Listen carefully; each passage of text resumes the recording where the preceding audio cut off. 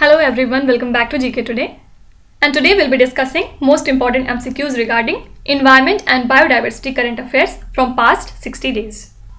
Now before we move ahead, let me inform you that these questions are part of our category wise current affairs series in GK Today Academy Android application. So if you are looking for the text version of these questions and their explanations, you may consider joining our category wise current affairs series in Academy Android application. Fine. Now these are the 14 categories in which we'll be discussing all the important news and events from past 60 days. So already we are done with our government schemes, India current affairs, business, economy and banking current affairs, then defense and fifth is report and indices. And today it's our sixth lecture in which we'll be covering all the important environment and biodiversity current affairs. Fine. Now without wasting any further time, let's get started. Question number one how many tiger reserves of India have received accreditation of the Global Conservation Assured Tiger Standards? So actually on the occasion of International Tiger Day that you have to tell me when do we celebrate this particular day. Our Minister for Environment, Forest and Climate Change, Mr. Bhupendra Yadav stated that 14 tiger reserves of India have received accreditation of the Global Conservation Assured Tiger Standards. And these 14 tiger reserves are first is Manas, Kaziranga and Orang from the state Assam. Then Satpura, Kanha and Panna from Madhya Pradesh. Then Pench from Maharashtra. The only national park of Bihar that is Valmiki. Then there is Dudhwa from Uttar Pradesh. Sundarban from West Bengal Parambikulam from Kerala, Bandipur from Karnataka. Last is Mudumalai and Anamalai from Tamil Nadu. Okay. Now talking about CATS, it is a kind of criteria that sets best practice and standards to manage the tigers and their conservation. So it is a globally accepted conservation tool and it was launched in the year 2013 developed by tiger and protected area experts. So it is an important part of T into 2 which means the global goal to double the number of tigers by the year 2022 and the long term goal of CATS is to ensure safe havens for the tigers. Okay. Question number 2 Jaima Sam Yuddhi Spardha, the motto of India's first indigenous aircraft carrier Vikrant has been taken from which of the following scriptures? So recently the indigenous aircraft carrier Vikrant successfully accomplished its maiden sea voyage and it is under a series of trial currently. Actually INS Vikrant is a type of aircraft carrier that is constructed by the CSL means Cochin Shipyard Limited for the Indian Navy and it is the first aircraft carrier to be built in India okay. So that's why it is important and the name Vikrant means courageous and the motto of the ship is Jama Sam Yuddhi Spardha that has been taken from Rig Veda. It can be translated as I defeat those who fight against me. Now can you tell me anything important regarding Mundak Upanishad? If you have ever studied our ancient history, then I think you must be knowing it. Please write in the comments if you know. Question number 3. Along with which organization Ministry of New and Renewable Energy has launched a loan interest subvention scheme to provide the financial assistance to energy biomethanation projects. So the Ministry of New and Renewable Energy has launched this loan intervention scheme in association with UNIDO that is United Nations Industrial Development Organization. Why? To provide the financial assistance for innovative waste to energy biomethanation projects. So the industrial organic waste to energy biomethanation projects are generally capital intensive and financially sensitive to both operating cost including waste availability, revenue, then particular biogas yield and its utilization scenario. Also, a GIS based inventory tool of organic waste streams was also unveiled. Fine. Question number 4. Which state or union territory has become the first state or union territory to recognize the community forest resource rights in urban areas? So Chhattisgarh has become the first state to recognize the community forest resource rights in urban areas and the state government recognized the rights of residents of Dhamtari district that spread over 4127 hectares of forest. And the state government also recognized the community resource rights over 5544 hectares of forest within the core area of Sita Nadi Udanti Tiger Reserve area. So any forest resource that the tribal and the other forest dwelling communities use and depend on for a livelihood is known as. So what is this community forest resource right? Actually any type of forest resource that the tribal and the other forest dwelling communities use and depend on for a livelihood is known as the community forest resource right and this can be a common forest area that the community has been conserving and protecting to make use of its resources. Like it may include forest of any category that is revenue forest, classified and unclassified forest, deemed forest, reserve forest, protected forest, sanctuary and national parks, etc. Okay. Question number 5. Which national park has become the first national park in India to be equipped with satellite phones. So Kaziranga National Park has become the first national park in India to be equipped with satellite phones and the Assam Chief Secretary Jishnu Barua handed over 10 satellite phones to the forest personnel of the Kaziranga National Park and the satellite phones will be used in pockets of the park's 6 ranges with no wireless or poor connectivity network. Also, the Assam State Disaster Management Authority had procured the 10 satellite phones for Kaziranga at an estimated cost of 16 lakh rupees and the park authorities will bear the monthly expenses for the service provided by Bharat Sanchar Nigam Limited that is BSNL. Fine. Question number 6. Bhindawas has been recognized as a Ramsar site in which state it is located.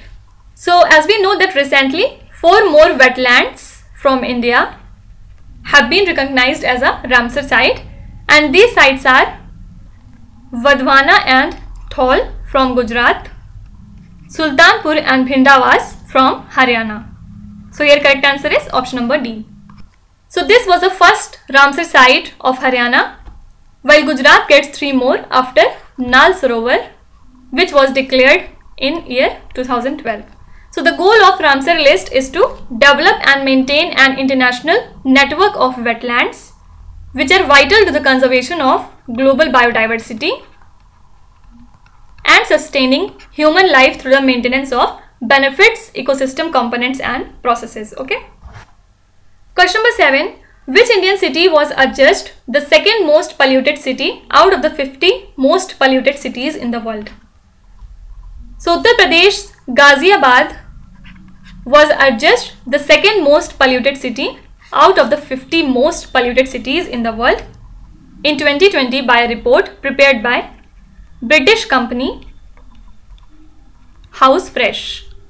Actually, Ghaziabad reported an average air quality index of 2.5 particulate matter and the most polluted city in the world is Chinese city of Hotan in Xinjiang province with a particulate matter of 2.5. So the report attributed the air pollution in Hotan to sandstorms resulting from its closeness to the Taklamakan desert which is the largest shifting sand desert in the world and for Ghaziabad the cause of pollution has been assigned to traffic volumes in the gateway to Uttar Pradesh. Question number 8 from which state or union territory a rare orchid species has been found for the very first time in India. So a rare orchid species named as Cephalanthera has been found for the very first time in India in Uttarakhand's Chamoli district at an altitude of 1870 meters. So a research paper on the new addition to Indian flora has been published in Nelumbo that lists the orchid species of India that basically list the orchid species of India. Also to remember that the first ever orchid conservation center of North India has been inaugurated in Uttarakhand recently. Okay. Question number 9. In which state or union territory a new frog species named as Adi cascade frog has been discovered? So a team of researchers from Delhi University along with biologists from the Wildlife Institute of India and North Carolina Museum of Natural Sciences USA have discovered a new species of this frog in Arunachal Pradesh. And it has been named after the indigenous Adi tribe and the hills they inhabit. And these findings were published in the Journal of Natural History, London. And there was a description of a new closely related species from northeast India as well. Question number 10. In which state or union territory India's highest herbal park has been inaugurated? So India's highest altitude herbal park situated at a height of 11,000 feet was inaugurated at Mana village that is close to the Indo-China border in Uttarakhand's Chamoli district. So the research wing of Uttarakhand's forest department has developed the park over 3 acres of land given by Manavan Panchayat under the Campa scheme. What does Campa stands for? Compensatory Afforestation Fund Act scheme. Okay. And the herbal park has around 40 species that are found in high altitude alpine areas in the Indian Himalayan region. Question number 11. Mudumalai and Anamalai Tiger Reserve which received the Global Allied tag for Best Tiger Conservation Practices are located in which state? So already we have covered this in the first question. The Anamalai Tiger Reserve located at Pollachi near Coimbatore is one of the largest landscapes in the south of Palghat Gap with 4000 square kilometer of protected area and the Mudumalai Tiger Reserve in the Nilgiris is a biodiversity hotspot of the Western Ghats and both of these are located in Tamil Nadu. So already we have seen that only 14 tiger reserves made the cut for the accreditation exercise by India's National Tiger Conservation Authority under CATS. Also, we have seen all these 14 tiger reserves in the first question. So do remember that important tiger reserves like Corbett, Ranthambore etc. are not part of this. Means they have not received this particular tag. Okay. Question number 12. What type of species is Latham snipe which was seen in the news recently? So this is a migratory shore bird which flies non-stop for 5 days over thousands of kilometers of ocean twice a year okay and this bird does this travel for every year of its life so it completes this migration to warmer region where it prepares itself for its return flight and the next breeding season. So actually they breed in North Japan and parts of Eastern Russia during the month of May and July and spend its non-breeding seasons that is from September to March along the Australia's eastern coast. Also the signing of Japan-Australia Migratory Bird Agreement in the year 1981 has stopped the snipe hunting in both the countries and their wetland habitat is being lost to development and other pressures. Question number 13. Deepor Beel Wildlife Sanctuary is located in which state or union territory? So this lake is one of the permanent and largest freshwater lakes in the state of Assam and do remember that it is the state's only Ramsar site and an important bird area. So the Ministry of Environment, Forest and Climate Change notified the eco-sensitive zone of this wildlife sanctuary on the southwestern edge of Guwahati and the wetland expands up to 30 square kilometers in summer and reduces to about 10 square kilometers in the winter. Fine. Question number 14. Which place in India is known to have all three species of crocodiles? So Kendrapara district that is located in the state of Odisha has been found to have all the three species of crocodiles that is saltwater, gharial and mugger. Also in this region the Bhitarkanika National Park is located and it is known for the conservation of crocodiles. So this national park is home to more than 70% of India's crocodiles and this is the second Ramsar conservation site in India and was designated so in the year 2002. Question number 15. Which is the first major city in India to release a climate action plan?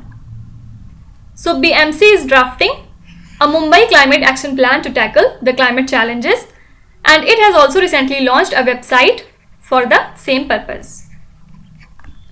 So the climate action plan focuses on six areas basically. First is sustainable waste management, then urban greening and biodiversity. Third is urban flooding and water resource management. Fourth is building energy efficiency. Fifth is air quality and sixth is sustainable mobility. So this plan is expected to be ready by November ahead of the COP26 conference. So your correct answer is option number A. Question number 16. Which is the first Asian country to launch a plastics pact? So WWF India means Worldwide Fund for Nature India and Confederation of Indian Industry have joined hands to develop a platform to promote a circular system for the plastics. And this new platform is called as India Plastic. Actually, India generates 9.46 million tons of plastic waste annually, of which 40% is not collected at all. And about half of all the plastics produced in the country are used in packaging. Most of it are single use in nature. So this pact has time-bound targets for reducing, innovating and reimagining plastic packaging. So your correct answer is option number C. Question number 17. Which Indian state is to set up India's first dugong conservation reserve? So government of Tamil Nadu has recently announced to set up India's first dugong conservation reserve in the Palk Bay on the southeast coast. Actually dugong or you can say it as sea cow, it is an endangered marine mammal and right now it is facing extinction because of habitat loss, sea pollution etc. So that's why Tamil Nadu has taken this step. Okay. Question number 18. Which state or union territory has planned to set up India's first dugong conservation reserve? Already we have covered it. I think it's a repeated question. Correct answer is option number D.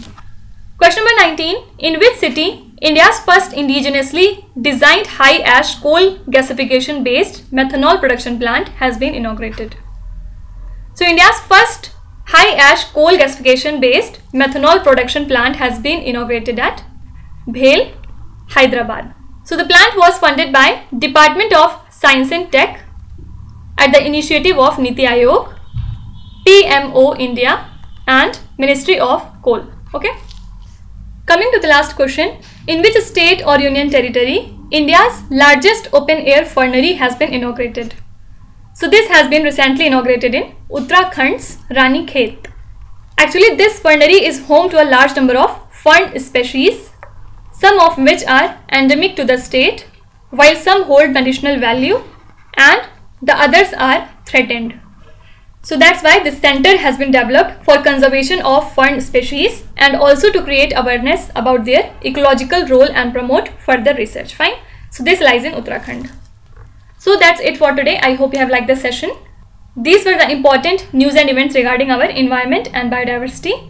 We'll meet again with our next category. Till then, stay tuned. Thank you so much for watching. And please do not forget to subscribe to GK Today. With this, me Nuzhat Sana signing off.